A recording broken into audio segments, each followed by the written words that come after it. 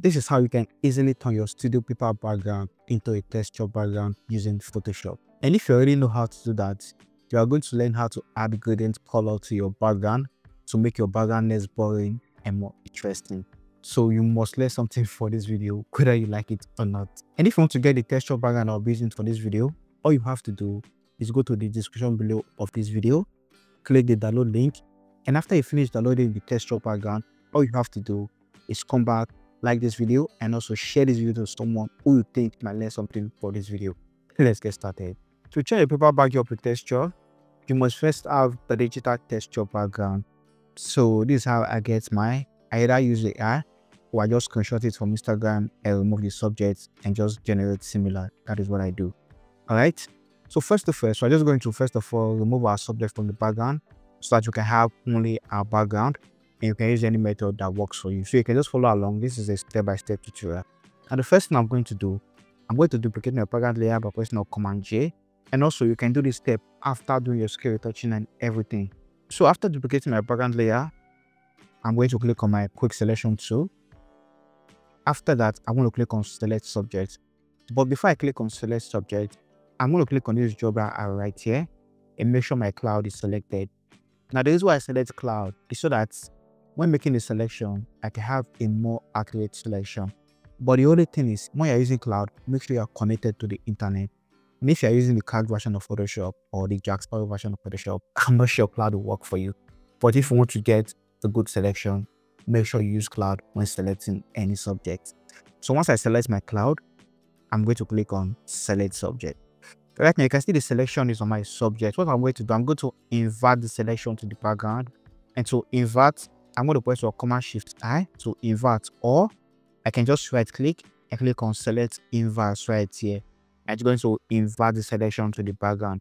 What I'm going to do from here, I'm going to press your Command J to cut out my subject from the background. So I can name this layer above without the subject background and name this one below subject. Now, you can use any method that works for you to remove a subject from the background, anyone at all, but this is how I do mine.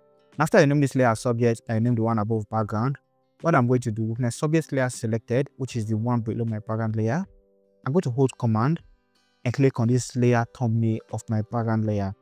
Once I click on it, it's going to bring back the selection. So basically, instead of going back to my quick selection, click on select subject again, I can just bring back this selection. So it's easier for me to just hold Command or Control for in Windows and click on this background layer to bring back the selection. Now once I bring back the selection, I'm going to invert the selection again to the subject. So to do that, I can right click and just click on select inverse or I can press your Command Shift I to just invert it. After I invert it, what I'm going to do, I'm just going to add a layer mask to this my subject layer. Now someone actually asked me why I like to add a layer mask when selecting the subject. Let me just quickly show you why. So for example, if I just add a solid color adjustment layer, let's add white or black. Let's add black. Now let's say for example, making the selection, there's a mistake like this, that the selection entered my subject. Since it's a layer mask, what I can do, since I added the layer mask and I did not just cut it out, what I can do, I can pick my normal brush tool, switch to a white brush and just paint this part out like that. So that's why I like adding a layer mask instead of deleting it. So that is the reason why. So I'm just going to cancel this and let us continue. So I hope I did not confuse you. So basically, let me, just um undo and show you where I was. All right. Now I said after I name this layer background, I name this one subject. What I can do instead of coming here to make the selection again, I can just select my subject layer, hold Command or Control, click on the layer thumbnail of my background to bring back the selection. And from here, I'm just going to invert the selection by pressing Command Shift I or Control Shift I, or you can just right click and click on Select Inverse to invert. Now, once you invert, I'm going to add a layer mask. After adding that layer mask, I'm going to come to my background layer. I just drag this background layer below my subject layer. Now, if I hide my subject layer and my background layer, which is the main background, you can see we have only the background. Our subject is no longer on this image. So if I turn back, so if I turn my subject layer on, we have our subject. If I turn it off, our subject is no longer there. Now that we have our background layer and we successfully remove our subject from the background, what we are going to do, we are going to drag and drop our digital textures into Photoshop right now and just make it look realistic. And I'm going to show you how to do that. I'm going to come to my finder and these are the texture I'm going to be using. So you can see this one right here is a screenshot. I just screenshotted it, then I removed the subject. So this is like a texture background. Like I said earlier, this is how I get my texture background. I can screenshot, I can generate. This one right here is a screenshot. Why this one right here, I generated it with AI. So you can see. So I'm going to be using these two, this screenshotted and this AI. The first one I'm going to drag to Photoshop is this AI. I want to drag this AI texture background into Photoshop like this. All right. And I'm just going to resize it to fit my image. Now this one doesn't have to be precise because I'm going to be changing the blend mode. So like this work, I want to show you how to make it look realistic. I'm going to hit OK. Now from here, eh, I'm going to change the blend mode from normal to screen. Now you can play with your blend mode. There's no one blend mode that fits all. Different blend mode for different color of textures or different background. So just play with it and see what works for you. But since I've already done this before, I know screen works for me.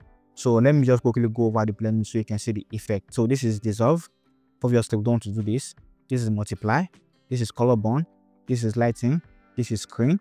So once I use screen, you can see once I zoom in, you can see the textures on the background and we still have the shadow. So you just bring back the original shadow and still add that texture to the background. That's why I like using screen. You can also use soft lights and overlay. All right. But for this particular one, I'm going to use screen.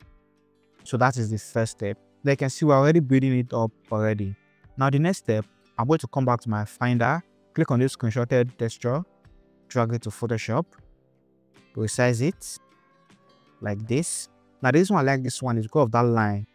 So you can see this line right here, it just make it look even more realistic. That's why I like adding these particular textures when I'm manipulating. I want to change my paper backdrop to textures. Now for me, if I zoom in, you can see I miss some part right here. What I'm going to do, I'm just going to move it down a bit to fit. So like this works for me. Now for this particular one, I'm going to change the blend mode from normal to overlay. No, let's try soft light. I want to change to soft light. Okay, so I think soft light works better for me for this one. Now, see the before and the after. So basically, like I said, you can just play with the blend mode and see what works for your image. So if I just group the texture layer together, you can see the before and after. This is the before and the after. The before and the after. We've turned our paper backdrop to textures. Now you can choose to stop here if you want to stop here because basically we successfully changed that paper backdrop to textures. But let's take it a step further. Let's play with colors and just add something to the background to make it look more interesting. Now, if you want to add that color gradient to your background, this is what you can do. Now, to add the colors, first things first, we're just going to desaturate this screenshot I added, this one right here. We're just going to desaturate it. And to desaturate it, you can either, with this layer selected, press your Command U and just take down the saturation, or you can come to your adjustment. If you can't find adjustment right here, just come to your Windows, click on Adjustments, click on Hue and Saturation, and just reduce the saturation like this. All right. Now, we don't want this to affect the whole image. We just want it to affect only this one right here. What I'm going to do, I'm going to clip it. Once I hold Option on Mac and alternate on Windows, you're going to see this clipping icon. So I'm just going to clip it to this one right here. So see the before and the after. The before and the after. For me, I'm just going to introduce the colors I want to use. And to do that, I'm going to come to my adjustment, click on my solid color adjustment. So this one is going to be on top of the overlays. So let's just use green for now. Green. All right. Now what I'm going to do from here, I'm going to come to my layer mask and just invert it because I don't want it to be like this. So I'm just going to invert it by pressing on Command I to invert. Now once I hide it, I'm just going to reveal it with gradients. So to reveal it, I'm going to select my gradient tool right here once I select my gradient tool, remember black is to hide while white is to reveal. If you want to reveal, make sure your foreground color is set to white and also click on this gradient right here, click on basic and make sure this place is on white like that. Next we want to do, make sure this gradient right here is selected, which is this first one. So once I select this first one, all I have to do from here is just click, drag that color where I want it to be. So maybe like this. Now obviously, it's not looking real it's just looking flat and the colors are just too much. Now to blend it with the background, what we are going to do, we're going to change the blend mode of this our solid color. So I come to my blend mode and just play with blend mode and see what works for me. So you can see Immediately I start changing the blend mode, it's looking even more realistic. So you can basically choose any blend mode that's looking real to you. But what I'll advise, you can either use screen, lighten, overlay, soft light, or you can use color. But for now, I'm just going to be using soft light. Once I select soft light, I'm just going to change the color. If I want to change the color, I can double click here and just play with the hue. So I can basically choose any color I want like this. All right, so let's use this color right here. I'm going to click on OK. Now from here, I'm going to create another gradient map and just drag it to from the down. So to do that, remember, come to your adjustment, click on solid color, select any color you want. Let's use like yellow. All right. So I'm going to invert this by pressing on Command I to invert to hide that effect. Once I hide it, what I'm going to do, I'm going to come to my gradient tool and just drag it like so. All right. Now from here, come to your blend mode and just play with the blend mode and see what works for you. Now let's try soft light as well. I think soft light also works. So soft light works. I'm going to click on OK. Now see the before and the after. The before and the after is looking a whole lot better right now. now. If you don't like this color combination, what you can do, you can just double click, remember, and just play with the hue. Okay. Also come here, play with the hue and see what works for you. So any color combination you want. So basically, I think that first one actually works for me, the before and the after. For me, what you can do, if you want to make the effect more intense, all you have to do is select these two layers, the two gradient layer, and just press on Command J to duplicate it, and the effect is going to be intense. What you can do from here, you can even change the blend mode of this particular one. So just play with the blend mode and see what works for you. Like I said, you can use any blend mode that actually works for you. You think it's going to give you a more better result. So there is no perfect blend mode. So let's try darken color. I think I like it. So no, it's not showing anything. Let's just try color. Let's use color itself. All right. So the before and the after. I like it. So I want to come to this other one, change from soft light to color. I think I like it. Wow. Let me just group this one so you can see the effect. So see the before and the after. The before and the after a whole lot better. So basically what I did, this first one, the blend mode was on soft light. While the one I duplicated, I changed the blend mode to colors. Now, if you feel it's too much, you can just come to this group and just take down the opacity like so. All right. So like this works. Now for me, what I'm going to do, I'm just going to add like a snoot effect to the background. So I'm going to come to my brush tool. Once I come to my brush tool, first of all, I'll create a new layer like this. Once I create a new layer, I'm going to come to my brush tool, click here and click on Teelens Snoot brush right here and just select this flower. I think extra then I'm going to increase my brush size. Make sure my focal color is set to white. Increase my brush size. I just paint this snoot effect like this. From here, change the blend where snoot effect from normal to overlay like this. Also, come back, come to my filter, just blur it a little bit to make it look even more realistic. So I think like this works for me. I'm going to hit OK. And by the way, if you want to get my snoot effect, I have, I think, about 25 snoot effects that you can use to make your image stand out. So this is one. This is another one. This is another one. This is another one.